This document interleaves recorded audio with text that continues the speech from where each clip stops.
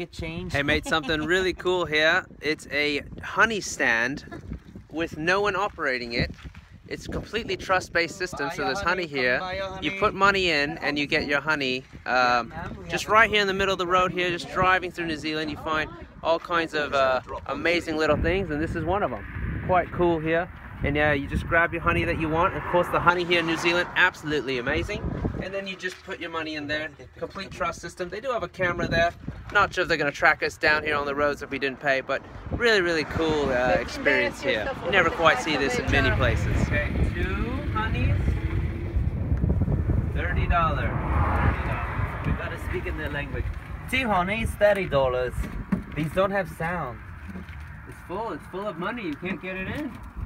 There we go. Thank you.